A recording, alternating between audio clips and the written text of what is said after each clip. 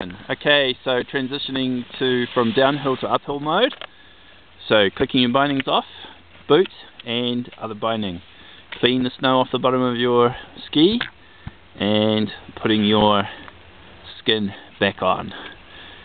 So rip your skin halfway, hold it, rip it all the way, point your tips of your skis into the snow and boot back on and pull up the binding boot, bindings, prepare your ski, skins ripped halfway, on ski, ripped all the way, tip to snow, and binding on, and off you go.